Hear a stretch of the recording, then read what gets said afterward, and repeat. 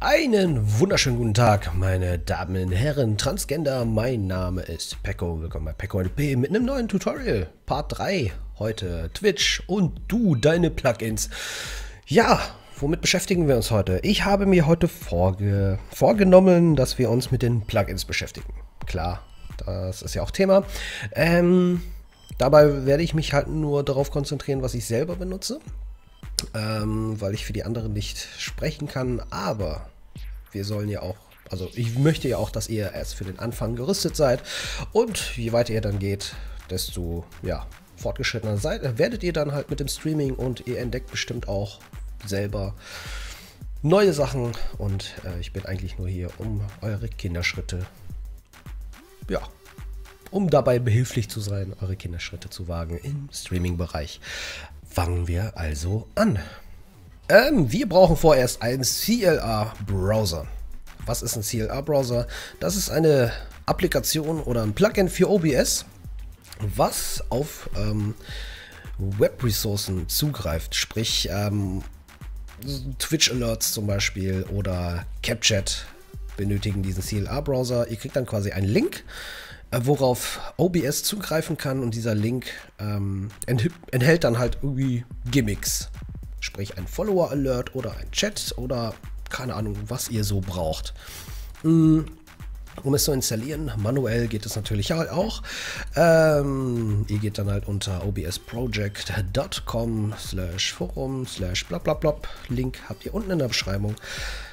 Ähm, hier gibt es halt als, also das dieser Plugin gibt es halt auch in 32-Bit und 64-Bit. Ihr lädt entweder beides runter oder nur eins davon, äh, entpackt es und zieht, also ihr zieht dann die Daten ins OBS Plugin Ordner. Vorausgesetzt ist natürlich, ihr habt äh, Microsoft Visual C++ und .NET Installation, aber solltet ihr irgendwelche aktuellen Spiele haben, müsste das eigentlich schon vorinstalliert sein bei euch. Und es gibt halt auch eine eine andere Variante, ohne dass wir das manuell installieren müssen. Da gehen wir unter CapChat. CapChat ist halt ein Chat. Hm, früher war das halt so ähm, für Twitch, dass man dann halt einen Webbrowser öffnen musste und diesen Browser als Fenster ins in mein Stream OBS Gedöns äh, ja, einfügen musste. Das war sehr umständlich, es verbraucht Ressourcen. Jetzt haben wir CapChat und äh, es ist großartig. Es ist wirklich großartig, großartig, großartig. Ich kann, ich, ich liebe dieses Programm. Zumal das halt auch nicht so viel Ressourcen verbraucht. Aber vorerst gucken wir uns mal einen CLA-Browser an. Dazu ziehe ich mal mein Fenster wieder hier rein. Das kennen wir ja schon. Ich hoffe, ich verwirre euch nicht damit.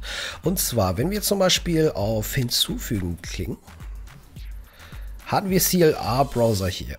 Vorher, wenn wir ein Plugin nicht installieren, ist das hier natürlich nicht vorhanden. Aber da ich das ja schon vorinstalliert habe, können wir mal da draufklicken und dann fragt, ihr, fragt er euch, ob wir einen Namen eingeben möchten. Dann klicken wir auf OK und so sieht das Ganze dann halt aus. Und hier geben wir dann halt eine URL ein, später. Hier geben wir das ein, hier bestimmen wir die Größe, also Dimensions, hier ist die äh, Breite, hier ist die Höhe und hier ist die Deckkraft. Und hier bestimmen wir, mit wie viel Frames per Second, also Bilder pro Sekunde, es animiert sein soll. Alles andere lassen wir mal außen vor. CSS, wenn ihr euch damit auskennt, super. Ich kenne mich damit überhaupt nicht aus. Ich habe nämlich in meiner Ausbildung nicht aufgepasst. so. Hier können wir halt auch auf die erweiterten hm, Einstellungen eingehen. Aber das soll uns erstmal weiter nicht interessieren. Weil für den Anfang wäre das halt ziemlich extrem. Gehen wir mal auf Cancel. So öffnet ihr einen CLA-Browser. Natürlich gibt es halt auch die Option, es unter den globalen Quellen einzufügen. Hier geht ihr dann halt auf globale Quellen hinzufügen und dann CLA-Browser hinzufügen. Was die globalen Quellen sind, habe ich in meinem mh, mm, vorherigen Tutorial erzählt, in Part 2. Und da könnt ihr euch das halt nochmal gerne angucken. Link werde ich hier mal ganz für ein paar Sekunden aufbereiten. Wow, Magic. Schnitttechnik. Magic. So. Wo waren wir stehen geblieben? Genau. CapChat. Das ist ein großartiges Programm. Link ist natürlich in der Beschreibung. Da geht ihr drauf auf dev.com slash capchat. Geht auf Install for OBS und ladet euch diese Datei runter. Diese Datei ist 80 Megabyte groß und ähm, ja, entweder habt ihr schnelles Internet und das geht ratzflatz, ratzflatz, ratzfatz oder auch nicht, je nachdem. Geht dann halt auf Download, Datei speichern und ähm, ja, ladet diese Datei runter. Das ist am Anfang, glaube ich, eine ZIP-Datei. Jo. Und ähm, ja, speichert das. Ich habe das ja schon gespeichert. Und dann öffnen wir das Fenster. Mm, gehen wir mal zurück, entpacken das Ganze, indem wir halt einen Rechtsklick drauf machen oder einen Doppelklick und sagen, entpacken nach blub blub blub. Gehen da drauf. macOS soll uns nicht interessieren. Erstmal Mm, und dann haben wir hier ein paar Daten. Das ist wunderbar. Hier oben haben wir den CLA-Browser, aber was uns interessiert ist Install. Da machen wir einen Doppelklick drauf und installieren das Ganze. Das geschieht alles automatisch. Und äh, wenn das passiert ist, können wir hier auf Next gehen. Am besten ihr startet ähm, OBS nochmal neu, damit es halt auch übernommen wird. Start, also startet OBS neu, genau. So, da war ich. Und dann könnt ihr hier Sachen eingeben. Ähm, genau, hier gebt ihr euch äh, euren Usernamen ein, nicht eure URL, sondern euren Twitch-Usernamen. Für mich wäre das halt PecoLP. Chat Fade bestimmt halt die Deckkraft. Je älter diese Chat-Nachricht ist, desto geringer die Deckkraft. Das sieht eigentlich ziemlich cool aus. Das kann, euch, kann ich euch gleich mal zeigen. Wenn wir das anwählen und da hier bestimmen wir halt die Zeit, wie lange so, so eine Nachricht halt ähm, angezeigt wird, bevor die Deckkraft, also diese Deckkrafteffekt einsetzt. Äh, bei Showbots bestimmen wir halt, ob unsere Bots oder unsere um, ja, eingefügten Bots auf, also im Chat mit beteiligt sind äh, ob wir das überhaupt sehen. Ähm, wenn wir halt irgendwie so im Stream zum Beispiel, unser, wenn mein Chat jetzt drüber wäre, und mein Bot da irgendwie die ganze Zeit zuspammt, wäre das nicht so schön. Darum können wir das halt anschalten, ausschalten. Das erkennt CapChat natürlich von alleine. Ähm, Chat-Theme sind die verschiedenen Chats. Die sehen halt alle an, anders aus. Wir haben einmal Sonos, das benutze ich ziemlich gerne. Und wenn wir jetzt auf Preview gucken, können wir sehen, wie es ungefähr aussieht. So sieht das dann halt aus im Chat. Das habe ich, glaube ich, genommen. Hm, oder hier Better TV Lite. Gehen wir auf Preview. Dann würde das so aussehen. Ihr sucht euch einfach irgendwas aus. Bedenkt aber halt, dass ihr ähm, solche Schriften nicht so gut sehen könnt. Ähm, deswegen habe ich halt diese Variante genommen. Weil die Schrift richtig gut ist. Die Kontraste sind okay. Ansonsten habe ich das hier, glaube ich, auch mal genommen. Genau. Es ist halt ein bisschen kleiner, feiner. Je nachdem, wie ihr streamt. Und dann geht ihr halt auch auf Next. Danach bekommt ihr eine URL. Und ihr, ich glaube, ihr wisst schon, wo das eingefügt werden muss. Gehen wir auf Kopieren. Hier wird dann halt noch eine Breite von 600, ne Quatsch, eine Höhe von 600 und eine Breite von 300 vorgeschlagen. Das sollten wir vielleicht halt auch ähm, bedenken. So, dann gehen wir mal wieder auf mein OBS minimieren das Ganze mal hier, damit wir ein bisschen Übersicht haben. So. Und nehmen wir mal mein Capture. Hm, das wäre hier. Uh, ich habe hier einen Chat. Genau da. Es braucht halt ein bisschen, bis es äh, sich irgendwie aktiviert. Aber sobald es aktiviert ist, können wir hier mal sehen. Wo packe ich das denn am besten hin? So, am besten da, wo wir es auch sehen können. So, das ist jetzt mein Chat. Wenn ich mal da draufklicke, seht ihr, dass ich hier die URL eingegeben habe. Und ich habe jetzt natürlich nicht auf ähm, CapChat gehört. Ich habe halt eine Breite von 400 zu 450, warum auch immer. Und das sieht dann halt so aus. ja, hier die rote Umrandung verrät halt, wie groß das in, äh, ungefähr ist. Ja, damit haben wir CapChat halt eingestellt. Stellen wir das mal aus. Somit haben wir zwei Fliegen mit einer Klappe geschlagen, indem wir CLA-Browser installiert haben und CapChat. Gehen wir halt auf Next und dann ist... Uh, oh, oh no, oh no. Nochmal weiter, nochmal weiter bitte. Äh, genau, das sind halt irgendwie so noch Sachen für Leute, die sich mit CSS auskennen. Ich kenne mich leider nicht aus.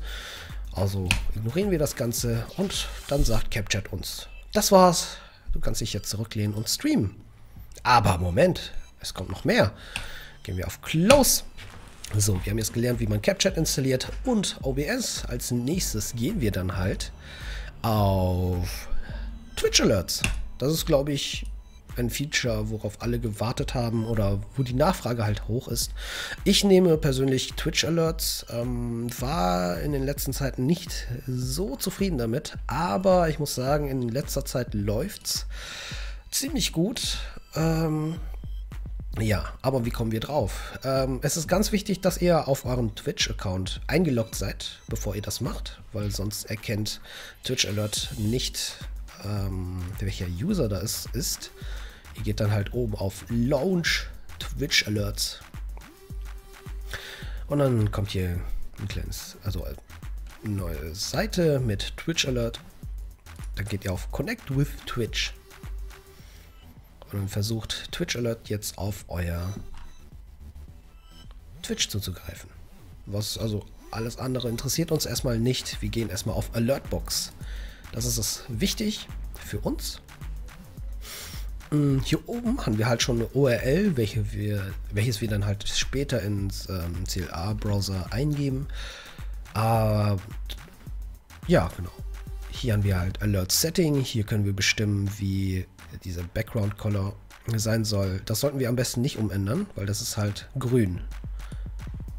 Das ist halt quasi unser Greenscreen für unser Alert. Alert Delay. Hier können wir halt bestimmen, wie lange es braucht vom Follow, äh, bis es dann halt angezeigt wird. Hier habe ich halt zwei Sekunden. Hm, ja, hier haben wir dann halt noch F Empfehlungen. Ich hoffe, euer Englisch ist gut. Ansonsten, ja, könnt ihr das ja auch übersetzen. Alles so modern heute. Hm, Layout. Hier könnt ihr halt bestimmen, wie es aussehen soll. Hier haben wir halt ein Beispiel. Ich habe halt jetzt Text unter Bild. Hier habt ihr auch ähm, Text im Bild und äh, Text neben dem Bild. Wie es euch beliebt. Das könnt ihr alles selber customisieren. Mm, Follow Alert, das ist ganz wichtig. Es ist halt auch wichtig, dass es auf Enabled steht. Enabled heißt äh, eingeschaltet, Disabled heißt ausgeschaltet. Äh, hier haben wir wieder unsere, unser Layout. Mm, Alert Animation heißt halt, ja, hier habt ihr viel Auswahl, äh, wie es animiert sein soll, äh, sobald es angezeigt wird. Ich habe jetzt Zoom In. Äh, ihr habt halt auch Fade Out, indem das halt einfach ähm, ähm, so, so von der Deckkraft erhöht wird. Ich weiß gar nicht, wie man das nennt. Einblendung oder so. Naja, hier habt ihr halt auch Springen und ähm, ja, dass es halt irgendwie so in ins Bild kommt. Ja, also genau, links ist halt ähm, die Animationsanfang und rechts ist halt Animationsende. Ne? Hier habt ihr dann halt Message Template, äh, das ist die Nachricht. Äh, diese, diese Klammern bestimmen halt, wer gefollowt hat. Hier steht halt einfach, äh, ich weiß gar nicht, wie man die hier nennt. Ich nenne die einfach mal komplizierte Klammer. und da drin halt ein Name. Das wird dann halt automatisch eingefügt. Sobald jemand followt, wird sein Name eingefügt und dann Danach könnt ihr dann halt die Nachricht eingeben. Ich habe jetzt hier eingegeben, war hier. Ähm, wenn ich jetzt zum Beispiel mich selber followen würde, steht dann halt PecoLP war hier. Ne? Hier könnt ihr dann bestimmen, bei Text Animation könnt ihr dann bestimmen, so, immer schön der Reihe nach, ähm, wie unser Text animiert ist. Ihr könnt Bounce heißt halt springen, Puls heißt halt pulsieren, Rubberband heißt halt Gummiband. Ja, ziemlich eine deutige Sache. Ich kann nicht mal reden. Äh, was habe ich denn jetzt vorher? Habe ich Wave? Ja, ich glaube, ich habe Wave. So, bei Image könnt ihr dann halt auch Bilder einfügen. Das ist euch freigestellt. Und natürlich gibt Twitch Alert halt auch ähm, ja, einige Bilder her, die ihr benutzen könnt, aber ihr könnt halt auch eigene benutzen. Darum Sound Volume, ihr könnt halt auch eure eigenen Sounds einwählen. Das bestimmt ihr hier. Ich habe jetzt Lulu Select. Ich, kann das mal abspielen. Achso, ich kann das nämlich nicht abspielen, weil ich das eigentlich gemutet habe. Naja, ich könnte das ja auch selber machen. Das Coole ist halt, hier haben wir noch Font-Settings. Und das Gute ist halt, es greift halt auch auf Google Fonts zu. E unter google.com-fonts könnt ihr dann halt Fonts suchen und die einfach hier eingeben. Das ist großartig. Hier bestimmt ihr halt auch die Größe unter Font Size, unter Font Weight, hm, die Dicke. Äh, Text Color ist halt, ja, Text. Farbe und Highlight Color ist halt die, ähm, ja, Highlights. Was halt heraussticht. Ah, ich habe es heute nicht so mit Wörtern irgendwie.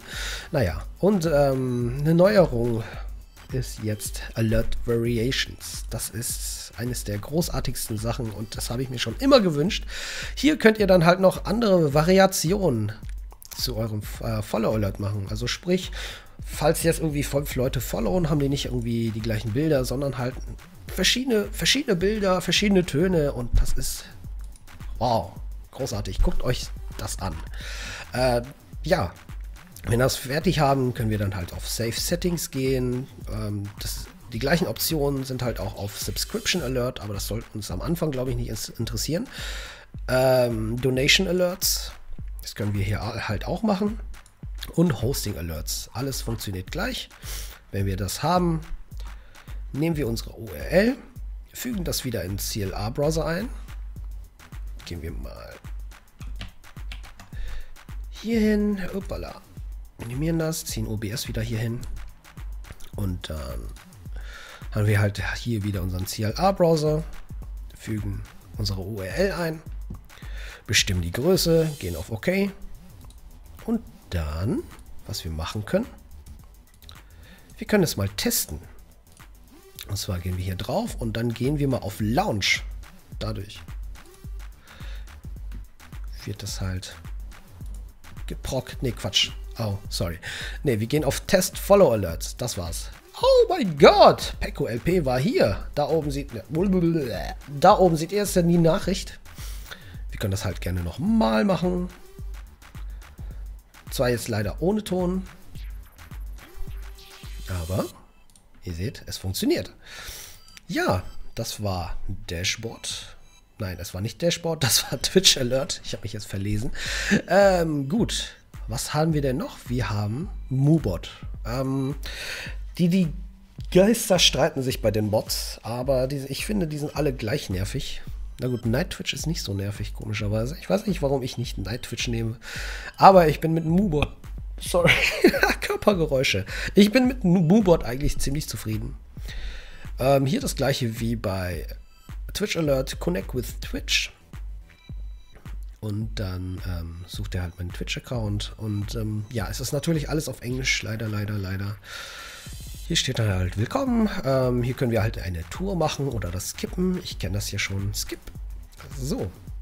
Was sehen wir hier erst? Man ist ein bisschen überfordert am Anfang. Ich war es halt auch, aber keine Schande. Das kriegen wir hin. Hier oben wird mir schon gesagt, dass Mobot äh, Mod-Rechte braucht in meinem Chat. Hier unten sehen wir dann halt auch unseren Chat. Hm, hier können wir das halt auch befolgen. Not, not detected as moderator. So, hier gehen wir dann halt im Chat. Also diese Nachricht sagt uns halt einfach, dass wir im Chat MOD Mubot eingeben sollen. Hm, was das bedeutet, äh, wird später erklärt. Da habe ich halt auch noch ein Kompendium für äh, Befehle im Chat für euch bereitgestellt. Mod heißt dann halt make, also make mod, mache einen Moderatoren. Und Leerzeichen und dahinter dann den Namen. Ich möchte quasi Mubot zu einem Moderator machen. Das bestätigen wir. Und ähm, ja, okay, warum, warum, warum nimmt er das nicht? Ich kopiere jetzt mal halt Mubot Moderate. Wie es dann da oben gesagt wird. Mal sehen, was der jetzt sagt.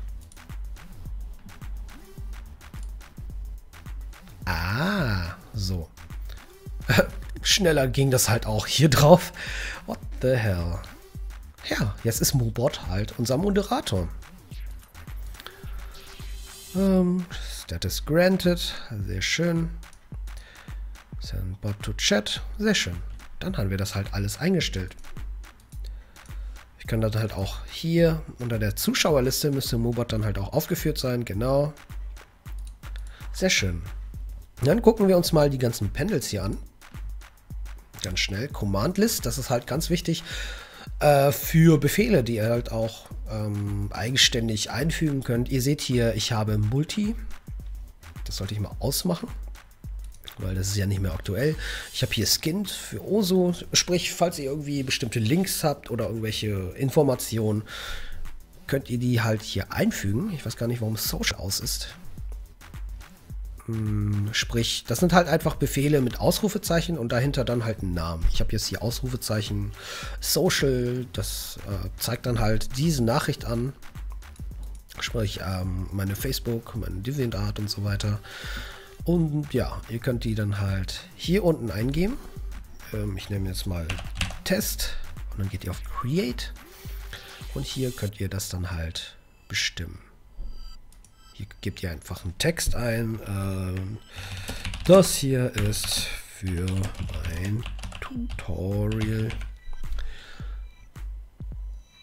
Äh, hier können wir dann halt die erweiterten Einstellungen angucken. Oh, das ist dann halt auch ziemlich viel.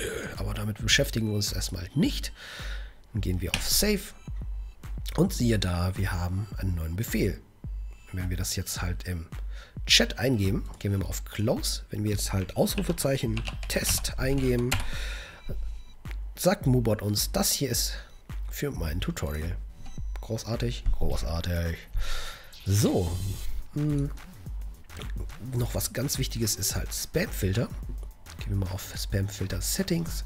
Hier haben wir halt verschiedene Optionen. Hm, erstens ist halt Excessive Use of Caps. Das sind halt, äh, wenn jemand viel zu viele Großbuchstaben benutzt, dann wird er halt erstmal in Timeout gesetzt. Es gibt halt zwei Varianten auf, auf Twitch, hm, wo, wie man bestraft werden kann. Also einmal mit Timeout, da kriegt man halt für eine bestimmte Zeit halt ein Timeout oder man wird gebannt für immer. Quasi, also Timeout ist quasi so die, die, die stille Treppe und ähm, Ban ist halt irgendwie so, so, wenn man jemand enterbt oder sowas. Stellen wir uns das mal einfach ganz einfach so vor. So, Bandwords. Äh, das sind, äh, ist halt für, äh, ja, schlimme Wörter, die man überhaupt nicht benutzen soll, wie Scheiße, Hitler, Arschfick und so weiter. Ja, Excessive Use of Emotes, falls jemand irgendwie ziemlich hart Emoticons benutzt, könnt ihr die halt auch bestrafen. Ich bestrafe die jetzt nicht. Es kommt bei mir selten vor. Äh, Fake Purchase. Ähm, das ist halt. Ah, also ich habe das komischerweise on. Ich weiß aber nicht, was das ist. Keine Ahnung. Lalalala. Ah, ich glaube, das sind einfach falsche Nachrichten, die so tun, als wären sie richtige Nachrichten. Ich glaube, so war das. Äh, Links, genau. Das habe ich halt an. Ähm, das habe ich halt deswegen an, weil ich ab und zu mal League of Legends spiele.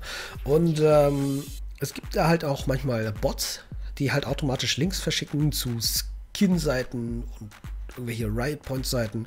Und die will ich nicht haben. Die werden dann halt automatisch gebannt, wenn man halt, wenn man einen Link reinsetzen will, fragt man vorher. Das ist Etikette auf Twitch. Ja. Und äh, Twitch-Memes. Ähm, das ist dann halt dafür da, äh, um Nachrichten zu, ähm, zu nee, Nachrichten zu löschen, die nichts äh, im Chat beizusteuern haben. Spamming natürlich, wenn man halt ständig das gleiche schreibt. Ich weiß gar nicht, warum das jetzt aus ist. Äh, darunter ist dann halt auch Excessive Use of Symbols, wenn man halt sehr viele ähm, Symbole benutzt, also sprich irgendwie so und oder äh, Klammern oder irgendwelche Symbole, also jetzt nicht Ziffern und Nummern, sondern wirklich Symbole benutzt, dann kriegt man dafür auch einen Bann. Oder Long Messages, die kann man halt auch bestimmen, wie lang eine Nachricht sein darf, was ziemlich cool ist manchmal. Gut, daneben haben wir dann Regulars. Das ist dafür da, dass ähm, ich dann halt Zuschauer bestimme, die halt ein klein extra Recht haben. Hier habe ich jetzt einige drin. Natürlich halt auch den Herrn Dademark, den ihr auch mal besuchen könnt. Ähm, Editors habe ich halt nur den Dademark. Denn äh, ihr solltet auf jeden Fall aufpassen, wen ihr zum Editoren macht. Weil ähm, Editoren haben ziemlich viel Macht über Mubot und euren Twitch. Ähm, deswegen passt ein bisschen damit auf. Auf Contribute können wir jetzt halt ähm, spenden. Dafür kriegen wir dann halt Punkte, die wir ausgeben können. Das schaltet dann halt neue Features frei. Auf MISC. Ähm, ja, das ist, soll uns erstmal nicht interessieren, das ist erstmal unwichtig. Hm, ja. Darunter haben wir dann halt, also ganz unten haben wir dann halt noch ziemlich coole Sachen wie Poles und Ruffle, aber für den Anfang ähm, ist es eigentlich erstmal wichtig, dass Moobot funktioniert und die ganzen bösen Leute und bösen Twitch-Zuschauern, die ziemlich böse, böse waren, erstmal aus eurem Chat verbannt. Ja, das war es erstmal mit Moobot und dann habe ich noch zum Schluss Chat-Moderation, Befehle. Link ist selbstverständlich unten in der Beschreibung. Ähm, das solltet ihr euch auf jeden Fall angucken, denn hier gibt es halt die Befehle, die ihr im Chat eingeben könnt. Zum Beispiel wie Mod. Das habe ich euch ja gerade erklärt und ähm, ein Beispiel gezeigt. Ähm, ihr habt ja dann halt auch, falls ihr ähm, manuell einen Bann setzen oder ein Timeout setzen wollt, habt ihr hier die Befehle. Oder vielleicht ähm, hat sich jemand dann halt irgendwie gut verhalten und ihr wollt ihn anbannen. Hier haben wir dann halt auch einen Anbannen-Befehl. Das solltet ihr euch auf jeden Fall angucken. Und falls ihr irgendwelche Moderatoren habt, also jetzt keine Bot-Moderatoren, sondern richtige Moderatoren aus Fleisch und Blut, die hinterm Computer sitzen, äh, zum Beispiel einen treuen Zuschauer, könnt ihr, den könnt ihr dann halt zum Mod machen und der sollte sich halt auch diese äh, Befehle angucken damit der halt auch reagieren kann.